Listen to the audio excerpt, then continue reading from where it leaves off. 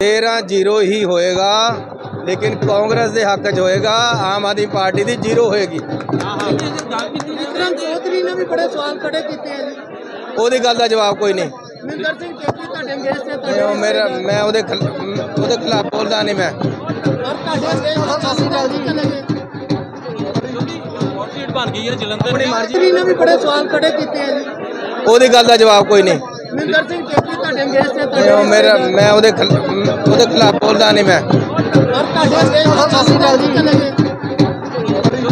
Hot seat ਬਣ ਗਈ ਹੈ ਜਲੰਧਰ ਆਪਣੀ ਦੀ। ਮਰਜ਼ੀ ਹੈ ਹਰ ਕਿਸੇ ਦੀ। ਹੌਟ ਸੀਟ ਬਣੀ ਹੈ ਜਲੰਧਰ ਦੀ ਤੇ ਪੰਜ ਕੈਂਡੀਡੇਟ ਪੰਜੇ ਹੀ ਇੱਕ ਤਰ੍ਹਾਂ ਦੇ ਜਿਹੜੇ ਆਪਣੇ ਨਾਮ ਦੇ ਵਿੱਚ ਨਾਲ ਜਾਣੇ ਜਾਂਦੇ ਨੇ। ਤੇ ਉਹਨੂੰ ਦੇਖ ਕੇ ਕਿਵੇਂ ਦੇਖ ਰਹੇ ਹੋ ਕਿ ਕਿਵੇਂ ਦਾ ਇਸ ਵਾਰ ਜਿਹੜਾ ਫਾਈਟ ਰਹੇਗੀ ਕੋਈ ਫਾਈਟ ਨਹੀਂ ਹੋਣੀ ਕਾਂਗਰਸ ਵੱਡੀ ਗਿਣਤੀ ਨਾਲ ਜਿੱਤੇਗੀ। ਬਹੁਤ ਸਾਰੇ ਲੋਕ ਕਾਂਗਰਸ ਛੱਡ ਕੇ ਜਾ ਰਹੇ ਆ ਉਸ ਨੂੰ ਲੈ ਕੇ ਕੀ ਕਹਿਣਾ ਚਾਹੁੰਦੇ ਹੋ? ਕੋਈ ਨਹੀਂ ਛੱਡ ਕੇ ਜਾ ਰਿਹਾ ਜੀ। ਉਹ ਜਿਹੜੇ ਇੱਕ ਦੋ ਲੀਡਰ ਗਏ ਆ ਕੋਈ ਨਹੀਂ ਕਾਂਗਰਸ ਚ ਵਾਧਾ ਹੋਏਗਾ ਕਿ ਜਿਹੜੇ ਆ ਇਹ ਸਾਡੇ ਵਿੱਚ ਐਸੇ ਬੰਦੇ ਸੀ ਜਿਹੜੇ ਚੌਧਰ ਵਾਸਤੇ ਹੀ ਹੈ।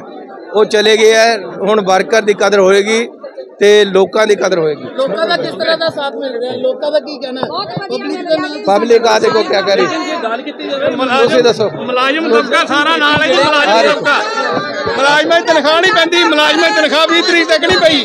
ਚੰਨੀ ਸਾਹਿਬ ਨੇ 20 20 ਹਜ਼ਾਰ ਰੁਪਏ ਚੰਨੀ ਸਾਹਿਬ ਨੇ ਵਧਾਇਆ ਸੀ ਮੁਲਾਜ਼ਮਾਂ ਦਾ। ਇਹਨਾਂ ਕੋਲੋਂ 20 ਤਰੀਕ ਤੱਕ ਤਨਖਾਹ ਨਹੀਂ ਦਿੱਤੀ ਚੰਨੀ ਸਾਹਿਬ ਕੇਪੀ ਤੁਹਾਡੇ ਰਿਸ਼ਤੇਦਾਰ ਵੀ ਨੇ। ਇਹਦੇ ਵਿੱਚ ਅਗਰ ਤੁਹਾਡੇ ਖਿਲਾਫ ਚੁਣਾਵ ਲੜਦੇ ਤਾਂ ਕਿਤੇ ਨਾ ਕਿਤੇ ਫ਼ਰਕ ਤਾਂ ਪਏਗਾ ਸੀ ਕੇਪੀ ਸਾਹਿਬ ਬਾਰੇ ਕੁਝ ਨਹੀਂ ਬੋਲਣਾ।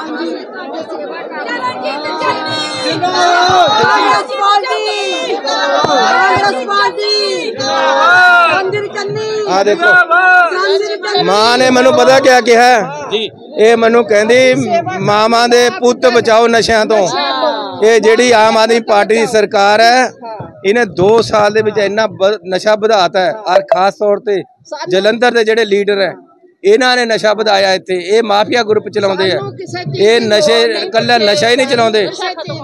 ਇਹ ਨਸ਼ੇ ਹੀ ਨਹੀਂ। ਕੱਲਾ ਚਲਾਉਂਦੇ ਇਹ ਇੱਥੇ ਲਾਟਰੀ ਚਲਾਉਂਦੇ ਇਹ ਇੱਥੇ ਸੱਟਾ ਚਲਾਉਂਦੇ ਆ। ਇਹ ਜਿੰਨਾ ਮਾਫੀਆ ਦਾ ਕੰਮ ਹੈ ਇਹ ਇਹੀ ਰਿੰਕੂ ਐਂਡ ਪਾਰਟੀ ਕਰਦੇ ਰਿੰਕੂ ਪਹਿਲਾਂ ਕਾਂਗਰਸ ਦੇ ਵਿੱਚ ਸੀ ਸਰ ਜਦੋਂ ਕਾਂਗਰਸ ਦੇ ਵਿੱਚ ਵਿਧਾਇਕ ਸੀਗੇ ਰਿੰਕੂ। ਸਰ ਦੇਖੋ। ਵਿਧਾਇਕ ਸੀਗੇ ਰਿੰਕੂ। ਉਸ ਸਮੇਂ ਕਿਉਂ ਨਹੀਂ ਉਹਨਾਂ ਤੇ ਕੋਈ ਐਕਸ਼ਨ ਲਿਆ ਗਿਆ? ਉਸ ਸਮੇਂ ਵੀ ਸਵਾਲ ਸੰਜੀਵ ਸੰਜੀਵ ਸੰਜੀਵ ਉਸ ਸਮੇਂ ਤਾਂ ਤੁਹਾਡੀ ਸਰਕਾਰ ਸੀ ਕਾਫਾ ਹੋ ਗਿਆ। ਸੀਐਮ ਸੀਗੇ